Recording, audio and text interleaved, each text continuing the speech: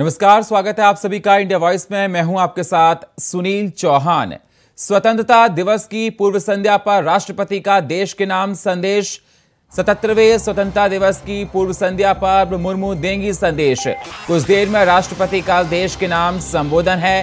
देश के नाम राष्ट्रपति का संदेश लाइव होगा। राष्ट्रपति द्रौपदी मुर्मू का संबोधन लाइव होगा ये। थोड़ी देर में आने वाली हैं और स्वतंत्रता दिवस की पूर्व संध्या पर देश के नाम ये संदेश है। देश पर चढ़ा आज़ादी के उत्सव का रंग। तो आपको बता दें, थोड़ी देर में देश की राष्ट्रपति द्रौपदी मुर्मू देश को नाम संबोधन देंगे। आपको बता दें सतहत्तरवें स्वतंत्रता दिवस की पूर्व संध्या पर मुर्मू देंगी संदेश कुछ देर में राष्ट्रपति का। आप सभी को मेरी हार्दिक बधाई। ये दिन हम सब के लिए गौरवपूर्ण और पावन है। चारों ओर उत्सव का वातावरण देखकर मुझे बहुत प्रसन्नता हो रही है। ये प्रसन्नता और गौरव की बात है कि कस्बों और गाँव में, यानी देश में में हर जगह बच्चे, युवा और बुज़ुर्ग सभी उत्साह के साथ स्वतंत्रता दिवस के पर्व को मनाने की तैयारी कर रहे हैं। हमारे देशवासी बड़े उत्साह के साथ आज़ादी का अमृत महोत्सव मना रहे हैं। स्वाधीनता दिवस का उत्सव मुझे मेरे बचपन के दिनों की याद भी दिलाता है। अपने गाँव के स्कूल में स्वतंत्रता दिवस समारोह में भाग लेने की हमारी खुशी रोके नहीं रुकती थी। जब त्रिरंग का फहराया जाता था तो हमें लगता था जैसे हमारी शरीर में बिजली सी दौड़ गई हो। देशभक्ति के गौरव से भरे हुए हृदय के साथ हम सब राष्ट्रीय ध्वज को सलामी देते थे तथा तो राष्ट्रगान गाते थे। मिठाइयाँ बांटी जाती थी और देशभक्ति के गीत गाए जाते थे, जो कई दिनों तक तो हमारी मन में गूंजते रहते थे। ये मेरा सौभाग्य रहा है कि जब मैं स्कूल में शिक्षक बनी तो मुझे उन अनुभवों को फिर से जीने का अवसर प्राप्त हुआ। जब हम बड़े होते हैं तो हम अपने खुशी को बच्चों की तरह व्यक्त नहीं कर पाते। लेकिन मुझे विश्वास है कि राष्ट्रीय पर्व से जुड़े देशभक्ति की गहरी भावना में तनिक भी कमी नहीं आती है। स्वतंत्रता दिवस हमें ये याद दिलाता है कि हम केवल एक व्यक्ति ही नहीं है बल्कि हम एक ऐसे महान जन समुदाय का हिस्सा है जो अपनी तरह का सबसे बड़ा और जीवंत समुदाय है। ये विश्व के सबसे बड़े लोकतंत्र के नागरिकों का समुदाय है। जब हम स्वतंत्रता दिवस समारोह मनाते हैं तो वास्तव में हम एक महान लोकतंत्र के नागरिक होने का उत्सव भी मनाते हैं। हमें हर एक की अलग अलग पहचान है। जाति, पंथ, भाषा और क्षेत्र के अलावा हमारी अपने परिवार और कार्य क्षेत्र से जुड़े पहचान भी होती है।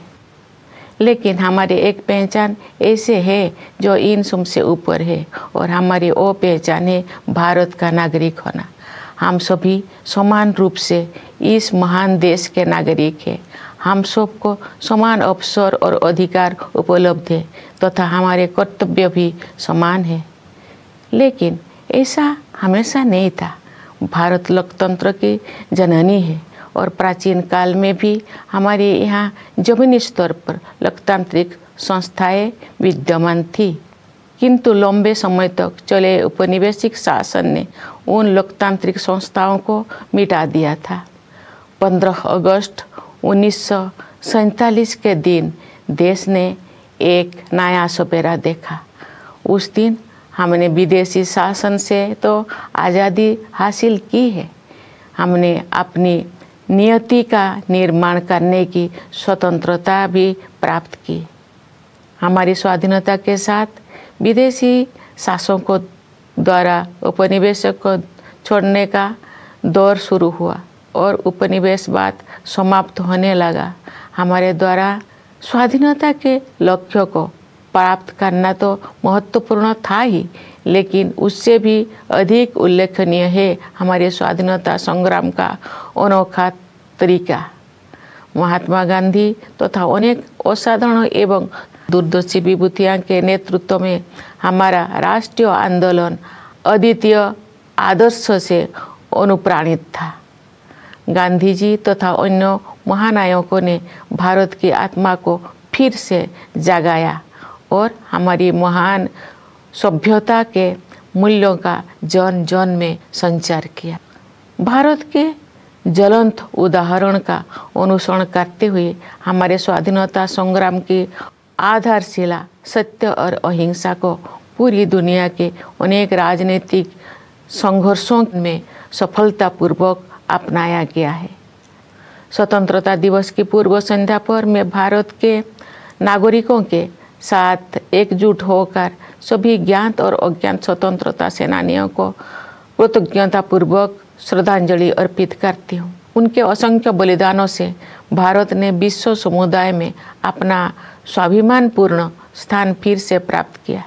मातंगिनी हाजरा और कनकलता बरुआ जैसे वीरांगनाओं ने भारत माता के लिए अपने प्राण निछावर कर दिया।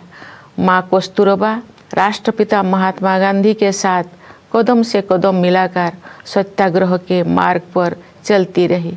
सरोजिनी नायडू, ओमू स्वामीनाथन, रमा देवी, अरुणा आसफ अली और सुचेता कृपालानी जैसे अनेक महिला विभूतियों ने अपने बाद की सभी पीढ़ियों की, महिलाओं के लिए आत्मविश्वास के साथ देश तथा समाज की सेवा करने के प्रेरक आदर्श प्रस्तुत किए हैं। आज महिलाएँ विकास और देश सेवा के हर क्षेत्र में बढ़ चढ़कर योगदान दे रही हैं तथा तो राष्ट्र का गौरव बढ़ा रहे हैं। आज हमारी महिलाओं ने ऐसे अनेक क्षेत्रों में अपना विशेष स्थान बना लिया है, जिनमें कुछ दोषों को पहले उनकी भागीदारी की कल्पना भी नहीं की जा सकती थी। मुझे ये देखकर प्रसन्नता होती है कि हमारे देश में महिलाओं के आर्थिक सशक्तिकरण पर विशेष ध्यान दिया जा रहा है। आर्थिक सशक्तिकरण से परिवार और समाज में महिलाओं की स्थिति मज़बूत होती है। मैं सभी देशवासियों से आग्रह करती हूँ कि वे महिला सशक्तिकरण को प्राथमिकता दें।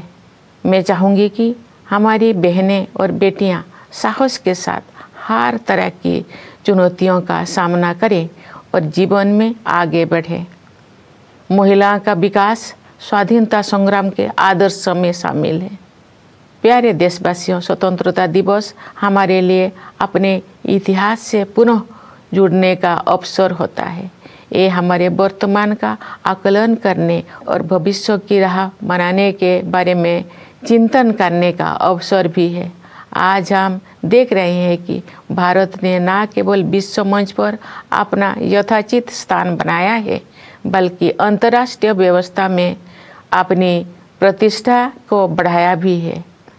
अपनी यात्राओं और प्रवासी भारतीयों के साथ बातचीत के दौरान मैंने अपने देश के प्रति उनमें एक नया विश्वास तथा तो गौरव का भाव देखा है।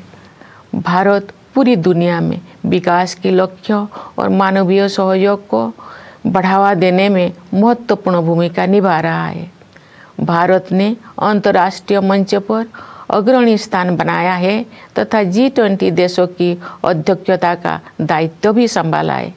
क्योंकि जी ट्वेंटी समूह दुनिया की दो तिहाई जनसंख्या का प्रतिनिधित्व करता है इसीलिए ये हमारे लिए वैश्विक प्राथमिकताओं को सही दिशा में ले जाने का एक अद्वितीय अवसर है।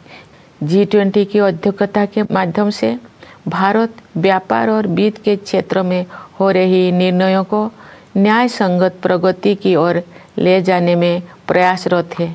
व्यापार और वित्त के अलावा मानव विकास से जुड़े विषय भी कार्यसूची में शामिल किए गए हैं।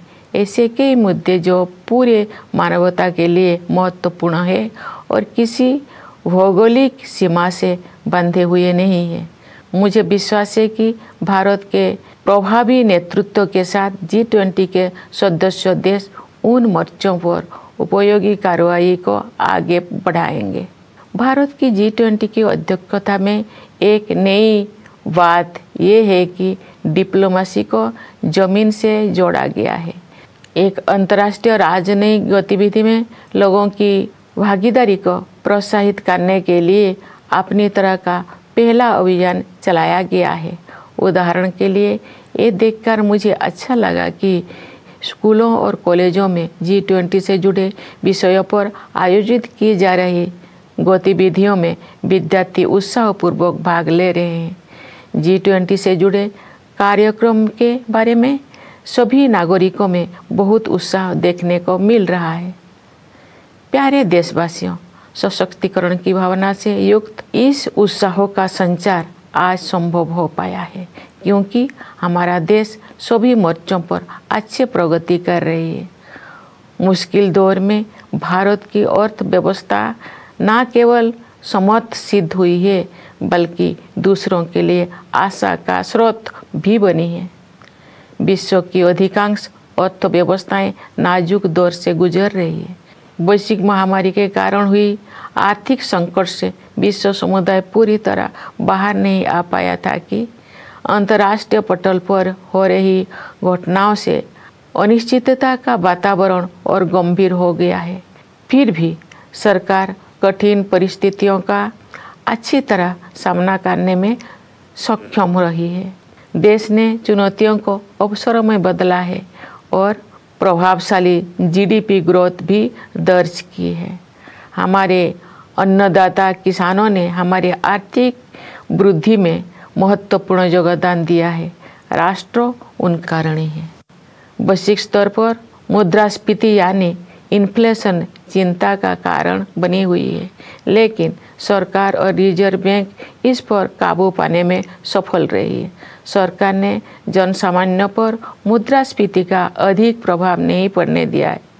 और साथ ही गरीबों को व्यापक सुरक्षा कवच भी प्रदान किया है। वैश्विक आर्थिक विकास के लिए दुनिया की निगाहें आज भारत पर टिकी हुई है। आज भारत विश्व की पांचवी सबसे बड़ी अर्थव्यवस्था बन गया है। विश्व में सबसे तेज़ी से बढ़ रही बड़ी अर्थव्यवस्था के रूप में भारत विश्व की तीसरी सबसे बड़ी अर्थव्यवस्था बनने की ओर अग्रसर है। हमारी आर्थिक प्रगति की इस यात्रा में समावेशी विकास पर ज़ोर दिया जा रहा है। निरंतर हो रही आर्थिक प्रगति के दो प्रमुख आयाम हैं। एक और व्यवसाय करना आसान बनाकर और रोज़गार के अवसर पैदा करके उद्यमशीलता की संस्कृति को बढ़ावा दिया जा रहा है। दूसरे ओर, जरूरतमंदों की सहायता के लिए विभिन्न क्षेत्र में पहल की गई है तथा तो व्यापक स्तर पर कल्याणकारी कार्यक्रम चलाया जा रहे हैं। वंचितों को वरीयता प्रदान करना हमारी नीतियों और कार्य के केंद्र में रहता है। परिणाम स्वरूप पिछले दशक में बड़ी संख्या में लोगों को गरीबी से बाहर निकलना संभव हो पाया है। इसी प्रकार आदिवासियों की स्थिति में सुधार लाने और उन्हें प्रगति की यात्रा में शामिल करने हेतु विशेष कार्यक्रम चलाया जा रहा है। मैं अपने आदिवासी भाई बहनों से अपील करती हूँ कि आप सब अपने परंपराओं को समृद्ध करते हुए आधुनिकता को अपनाएँ। मुझे ये जानकर खुशी हुई है कि आर्थिक विकास के साथ साथ मानव विकास संबंधी सरकारों को भी उच्च प्राथमिकता दी जा रही है। मैं एक शिक्षक रही हूँ। इस नाते भी मैंने ये समझा है कि शिक्षा सामाजिक सशक्तिकरण का सबसे प्रभावी माध्यम है। वर्ष 2020 की राष्ट्रीय शिक्षा नीति से बदलाव आना शुरू हो गया है। विभिन्न स्तरों पर विद्यार्थियों और शिक्षाविदों के साथ मेरी बातचीत से मुझे ज्ञात हुआ है कि अध्ययन की प्रक्रिया अधिक फ्लेक्सिबल हो गया है। इस दूरदर्शी नीति का एक प्रमुख उद्देश्य प्राचीन मूल्यों को आधुनिक कौशल के साथ जोड़ना है। इससे आने वाले वर्षों में शिक्षा के क्षेत्र में अभूतपूर्व परिवर्तन होंगे और परिणाम स्वरूप देश में एक बहुत बड़ा बदलाव दिखाई देगा। भारत की प्रगति को देशवासियों, विशेषकर युवा पीढ़ी के सपनों से शक्ति मिलती है। विकास के अनंत संभावनाएँ देशवासियों की प्रतीक्षा कर रही है। स्टार्टअप से लेकर खेल कूद तक हमारे युवाओं ने उत्कृष्टता के नई आसमानों की उड़ान भरी है। आज के नई भारत की महत्वाकांक्षाओं के नई क्षितिज असीम है।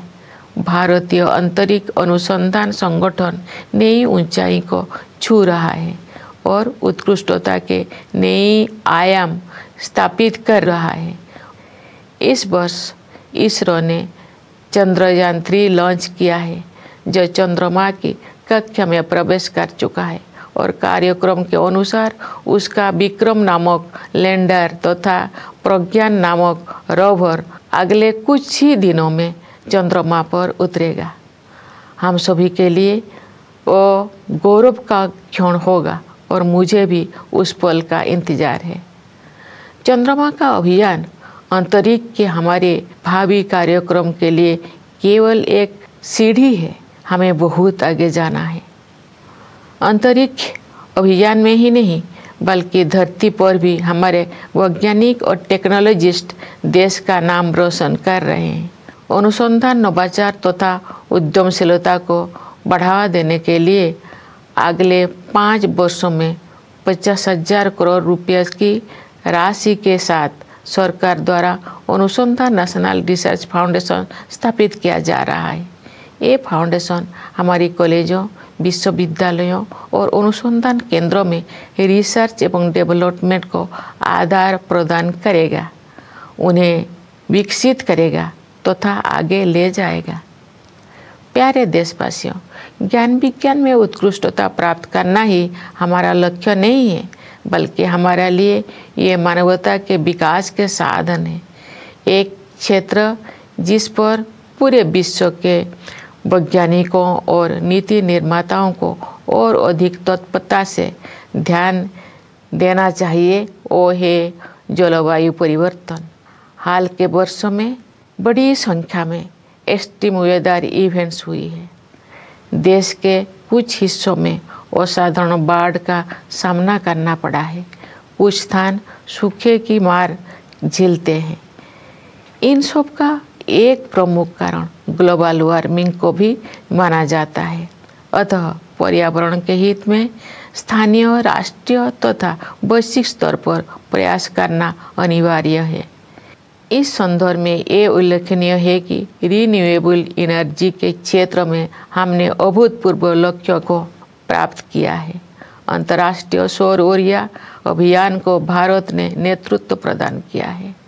अंतर्राष्ट्रीय प्रतिबद्धताओं को पूरा करने में हमारा देश अग्रणी भूमिका निभा रहा है। विश्व समुदाय को हमने लाइफ यानी लाइफस्टाइल फॉर इन्वायरमेंट का मंत्र दिया है। घटनाएँ सभी पर असर डालती है, लेकिन गरीब और वंचित वर्गों के लोगों पर उनका और अधिक प्रभाव पड़ता है। शहरों और पहाड़ों क्षेत्रों के जलवायु परिवर्तन की स्थितियों का सामना करने के लिए विशेष रूप से सक्षम बनाने की आवश्यकता है। मैं ये कहना चाहूँगी कि लोभ की संस्कृति दुनिया को प्रकृति से दूर करती है और अब हमें ये एहसास हो रही है कि हमें अपनी जड़ों की ओर लौटना चाहिए। आज भी अनेक जनजातीय समुदाय ऐसे हैं जो प्रकृति के बहुत करीब और प्रकृति के साथ सौहार्द बनाकर रहते हैं। उनके जीवन मूल्यों और जीवन शैली क्लाइमेट एक्शन के क्षेत्र में अमूल्य शिक्षा प्रदान करते हैं। जनजातीय समुदायों द्वारा युगों से अपना अस्तित्व बनाए रखने के रहस्यों को एक शब्द में ही व्यक्त किया जा सकता है। और शब्द है हमदर्दी जनजातीय समुदाय के लोग प्रकृति को माता समझते हैं, तथा तो उसकी सभी संतानों अर्थात वनस्पतियों और जीव जंतुओं के प्रति सहानुभूति रखते हैं। कभी कभी दुनिया में हमदर्दी की कमी महसूस होती है, लेकिन इतिहास साक्षी है कि ऐसे दौर केवल कुछ समय के लिए ही आते हैं। क्योंकि कोरोना हमारा मूल स्वभाव है। मेरा अनुभव है कि महिलाएँ हमदर्दी के महत्व को और अधिक गहराई से महसूस करती है और जो मानवता अपनी राह से भटकती है तो वे सही रास्ता दिखाती है। हमारे देश ने नई संकल्पों के साथ अमृत काल में प्रवेश किया है तथा तो हमें भारत का वर्ष दो तक एक विकसित राष्ट्र बनाने की दिशा में आगे बढ़ रहे हैं। आइए हम सभी अपने संवैधानिक मूल कर्तव्य को निभाने का संकल्प लें तथा व्यक्तिगत और सामूहिक गतिविधियों के सभी क्षेत्रों में उत्कृष्ट की ओर आगे बढ़ने का सतत प्रयास करें ताकि हमारा देश निरंतर उन्नति करते हुए कर्मठता तथा उपलब्धियों की नई ऊंचाइयाँ हासिल करें। प्यारे देशवासियों, हमारा संविधान हमारा मार्गदर्शक दस्तावेज़ है। संविधान की प्रस्तावना में हमारे स्वाधीनता संग्राम के आदर्श समाहित है। आइए हम अपने राष्ट्र निर्माताओं के सपनों को साकार करने के लिए सद्भाव और भाईचारे की भावना के साथ आगे बढ़े। स्वतंत्रता दिवस की पूर्व संध्या पर मैं पुनः आप सबको विशेष रूप से सीमाओं की रक्षा करने वाले सेना के जवानों, अंतरिक्ष सुरक्षा प्रदान करने वाले सभी बलों एवं पुलिस के जवानों तथा तो दुनिया के विभिन्न हिस्सों में रहने वाले प्रवासी भारतीयों को बधाई देती हूँ। सभी प्यारे देशवासियों को बहुत बहुत शुभकामनाएँ। धन्यवाद। जय हिंद। जय भारत।